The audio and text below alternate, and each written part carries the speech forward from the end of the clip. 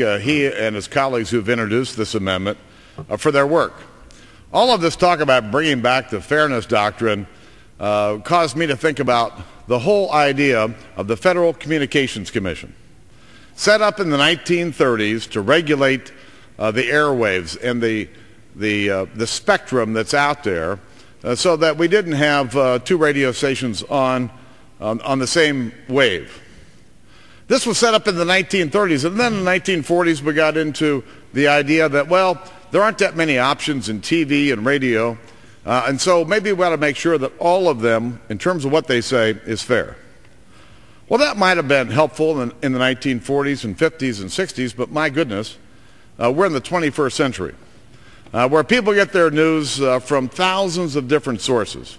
It could be radio from hundreds and hundreds of radio stations. It could be from TV, uh, where we now have hundreds and hundreds of stations. It could be from the internet.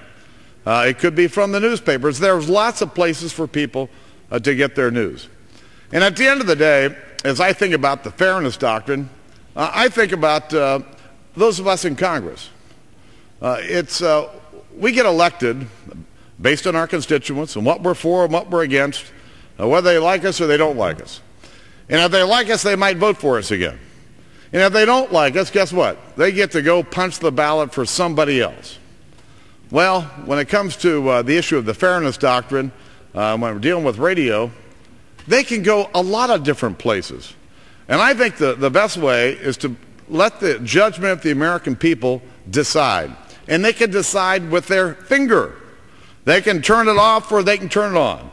They can change channels or they can decide to go to their computer and, and read it on the internet. And the idea that, that people are calling for the fairness doctrine to be called back uh, reminds me once again of why I came here. I came here because I thought government was too big, it spent too much, and no one was holding the government accountable. Let's trust the American people to do what they think is best. Their finger can make all the decisions Uh, all that they need to make on their own behalf. Let's trust them to do the right thing.